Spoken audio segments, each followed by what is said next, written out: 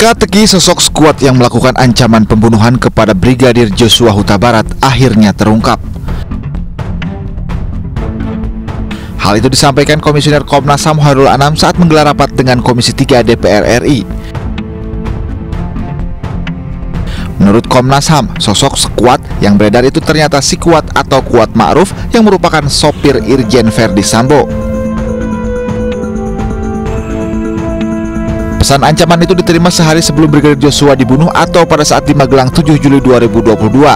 Ana menjelaskan, informasi mengenai ancaman tersebut berdasarkan keterangan dari kekasih Brigadir Joshua.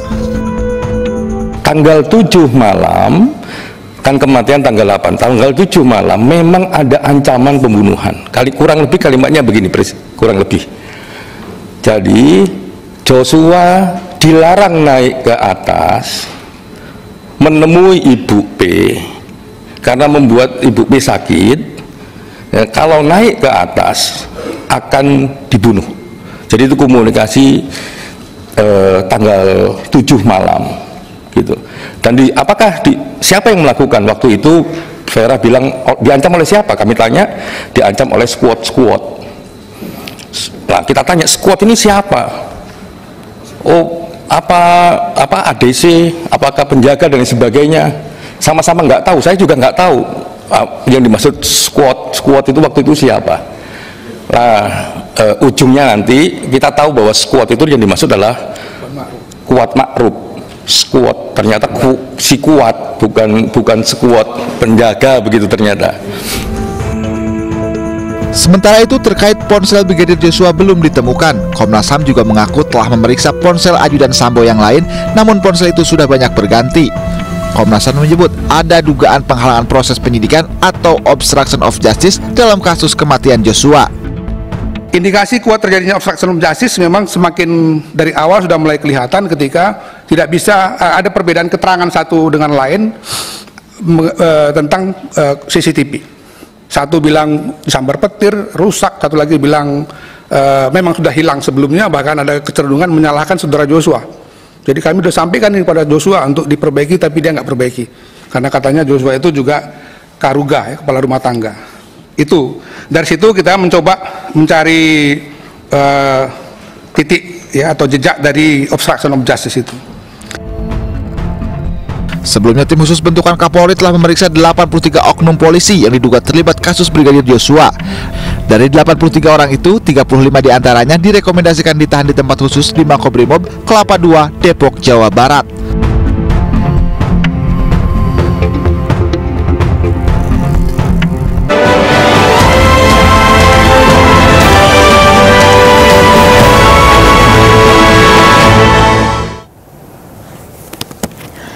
Selamat malam, Anda menyaksikan Special Report bersama saya, Stefani Patricia.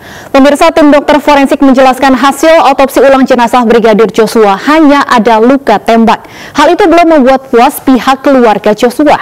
Sementara hari ini, ayah Joshua Samuel Huta Barat mewakili anaknya menerima ijazah kelulusan dalam wisuda yang penuh haru. Ijazah dan pemberian ucapan selamat kepada orang tua Brigadir Nofriansyah Joshua Huta Barat.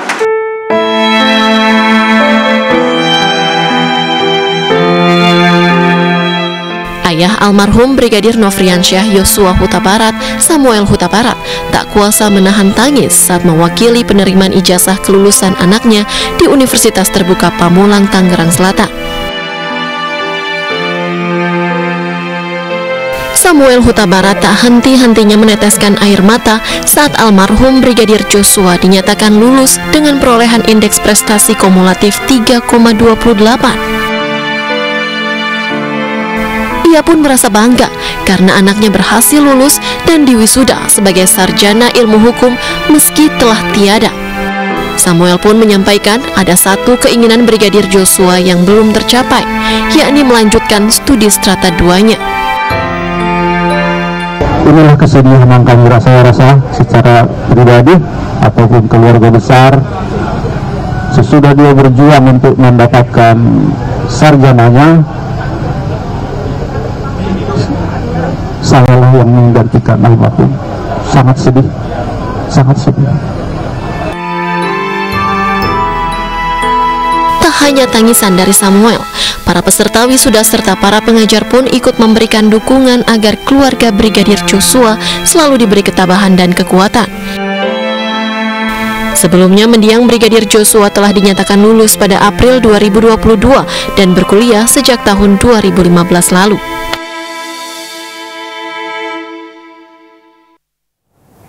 Ketua Lembaga Perlindungan Anak Indonesia Seto Mulyadi tawarkan perlindungan untuk anak-anak Verdi Sambo dan Putri.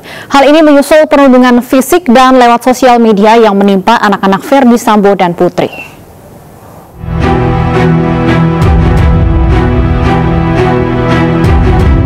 Ketua Lembaga Perlindungan Anak Indonesia LPAI Seto Mulyadi selasa siang mendatangi gedung Bareskrim Polri. Kak Seto berupaya memberikan pendampingan psikologis secara profesional bagi anak-anak Ferdi Sambo dan Putri. Hal ini didorong dari keprihatinan akan bullying atau perundungan yang diterima anak-anak Ferdi Sambo dan Putri sejak kasus yang menyeret kedua orang tuanya muncul di tengah masyarakat. Lebih lanjut, Seto Mulyadi menyarankan agar anak-anak Ferdi Sambo dan Putri tetap dirawat oleh ibunya, terutama anak Sambo dan Putri yang masih balita. Walaupun nantinya Putri Chandrawati yang telah ditetapkan sebagai tersangka akan ditahan atas perbuatannya. Nah, salah satu yang kami sarankan adalah kalau bisa tetap bersama ibunya karena dalam pengalaman kami dalam penelitian uh, di berbagai negara anak-anak yang bersama ibu walaupun ibu dalam keadaan uh, di dalam kondisi penahanan tapi anak-anak akan tumbuh lebih sehat daripada dipisahkan dari ibunya jadi mungkin salah satu yang paling penting adalah untuk yang satu setengah tahun Selanjutnya tim LPAI yang dipimpin Seto Mulyadi akan menjumpai Irjen Verdi Sambo yang tengah ditahan di Makobrimob Kelapa II Depok. Pertemuan ini dalam rangka meminta izin pemberian pendampingan psikologis anak-anak yang menjadi korban bullying dari ayahnya yang kini telah menjadi tersangka pembunuhan berencana.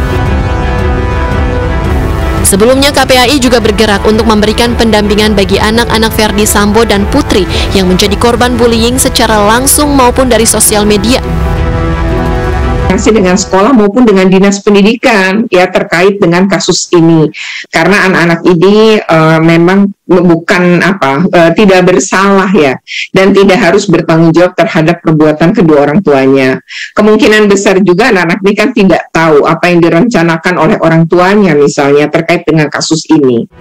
Ferdi Sambo dan Putri Chandrawati memiliki empat anak. Satu telah berusia dewasa, sementara tiga lainnya masih di bawah umur.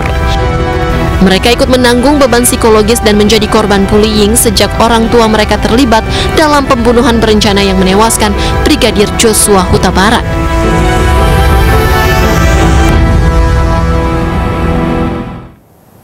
Ketua LPAI Seto Mulyadi atau Kak Seto menemui Irjen Verdi Sambo di Makobrimob Kelapa II Depok, Jawa Barat sore tadi.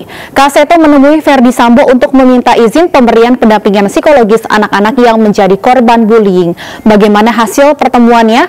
Kami sudah terhubung dengan Kak Seto. Selamat malam Kak Seto. Ya, selamat malam Mbak Baik. Stefani.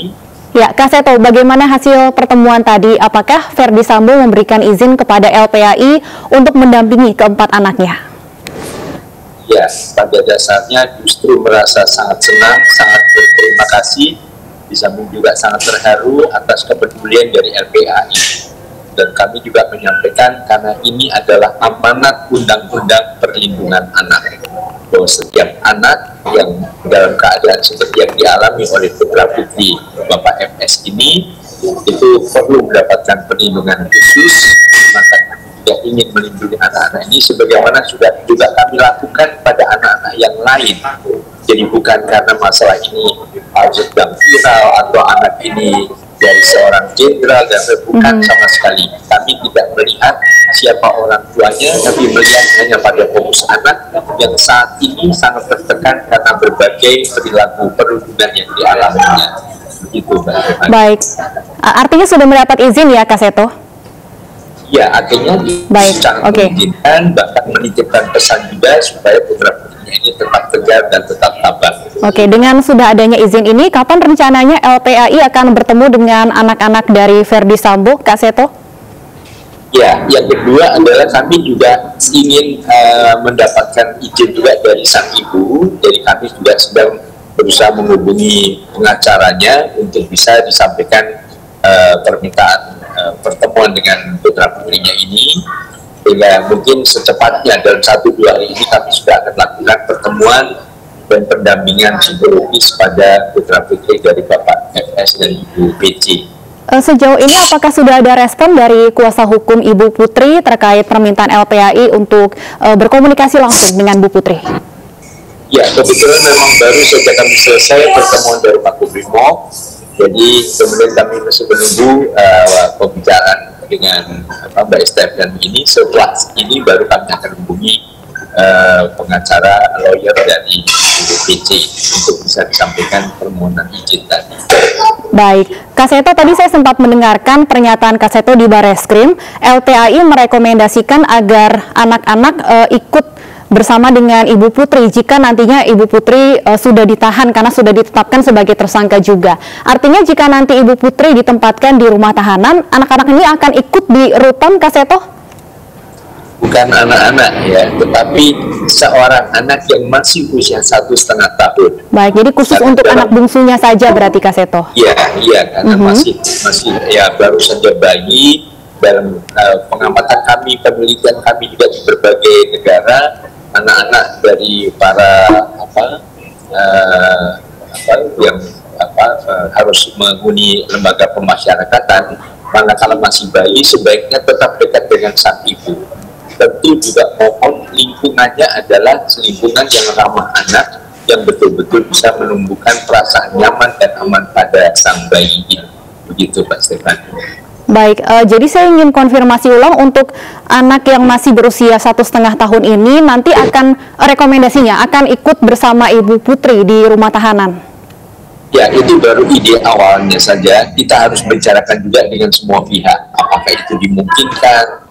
Kemudian uh, ini juga mohon menurut pendapat kami sendiri juga terjadi bukan hanya pada kasus Ibu putri saja, tapi para ibu-ibu yang lain yang mungkin tersangkut masalah hukum dan harus tinggal di pemasyarakatan, mohon uh, sang anak yang masih usia dini tetap lekat dekat dengan dengan ibunya, karena ini akan menjamin kesehatan jiwa dari sang bayi tadi. Artinya ini praktek yang sebenarnya sudah lazim dilakukan Kaseto sebelumnya? Iya, sudah cukup banyak dilakukan sehingga mungkin kasus-kasus di tempat lain kalau ada sekalipun itu tidak viral bukan seorang tokoh dan sebagainya manakala ibu itu harus tinggal di lembaga pemasyarakatan masih mempunyai bayi sebaiknya bayi tidak dipisahkan dari sang ibu Baik, lalu kalau untuk uh, tiga anaknya yang lain, bentuk perlindungannya seperti apa, Kaseto? Ya, tentu lebih pada masalah psikologis ya. Yang sebetulnya yang masih anak ini uh, sudah sudah remaja ya kelas 1 SMA dan kelas 3 SMA. Nah ini kalau tidak salah juga uh, apa uh, bersekolah di sebuah sekolah uh, di Magelang. Nah manakala itu sudah tetap berjalan dengan baik, maka yang paling penting adalah kondisi psikologisnya. Ada treatment psikologis supaya tetap pede, tetap percaya diri, tetap penuh semangat, dan kemudian bisa mengendalikan emosinya secara lebih cerdas sehingga tidak terpancing lingkungan yang mungkin memberikan tekanan-tekanan berlebihan tadi. Ya, terkait bullying ini, Kaseto selain mendampingi anak-anak dari Verdi Sambo secara psikologis, eh, koordinasi dengan pihak sekolah nanti akan seperti apa, Kaseto? Iya, tentu saja akan kami lakukan juga, dan kami juga bukan sendiri, kami juga bekerja sama dengan KPAI sebagai lembaga negara, dan juga Kementerian Pemberdayaan Perempuan dan Perlindungan Anak. Baik, Kaseto kami akan tunggu tentunya tindak lanjut dari LPAI untuk terus mendampingi putra-putri dari Ferdi Sambo dan Ibu Putri Chandrawati. Terima kasih sudah meluangkan waktu bersama kami. Selamat malam, Kaseto. Selamat malam, Mbak. Pemirsa Putri Chandrawati janjikan miliaran rupiah kepada Baradae setelah menembak Brigadir Joshua. Istri Ferdi Sambo itu dicerat pasal pembunuhan berencana dengan ancaman hukuman mati.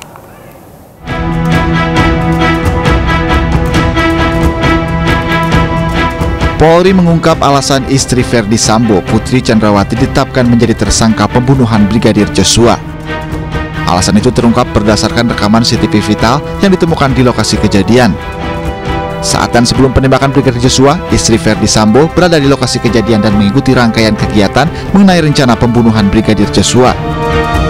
Inilah yang menjadi bagian daripada circumstantial evidence atau barang bukti tidak langsung yang menjadi petunjuk bahwa PC ada di lokasi sejak di Saguling sampai dengan uh, di dan melakukan kegiatan-kegiatan yang menjadi bagian daripada perencanaan pembunuhan terhadap uh, Brigadir Joshua.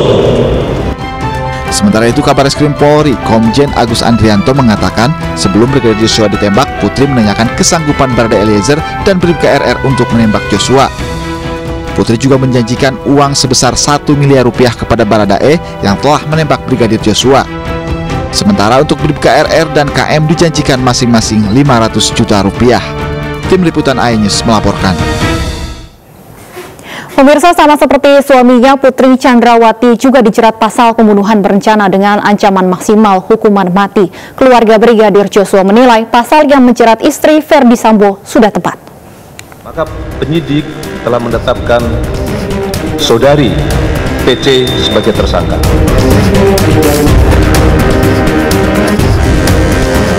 Drama Putri Chandrawati selesai sudah. Skenario pelecehan terbantahkan. Kini Putri Chandrawati menjadi tersangka atas kasus tewasnya Brigadir Joshua.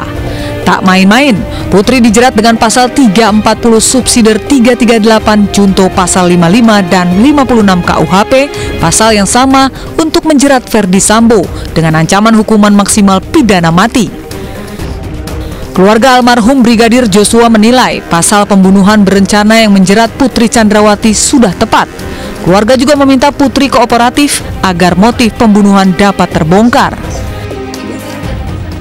Saya rasa itu hasil hasil olahan daripada uh, tim khusus ya mungkin itu yang paling tepat bagi yang berbuat demikian. Ya kiranya dia kooperatif ya terbuka apa sebenarnya dan apa motifnya. Sampai sekarang kan motif belum terbuka. Di awal mencuatnya kasus ini, Putri Chandrawati memposisikan diri sebagai korban pelecehan seksual yang diklaim dilakukan oleh Brigadir Joshua. Bahkan saat memberikan pernyataan di hadapan awak media, Putri terkesan menyalahkan almarhum Brigadir Joshua atas apa yang menimpa keluarganya. Dan saya ikhlas memaafkan segala perbuatan yang kami dan keluarga alami. Namun semua itu hanya skenario belaka. Tim khusus bentukan Kapolri berhasil mengungkap bahwa tidak ada tindak pidana pelecehan dalam peristiwa tewasnya Brigadir Joshua. Tim Liputan iNews melaporkan. Komisi Nasional Hak Asasi Manusia atau Komnas HAM sepakat untuk tidak melanjutkan investigasi dalam kasus kematian Brigadir Joshua. Apa penyebabnya? Kami akan ulas selengkapnya usai jeda berikut.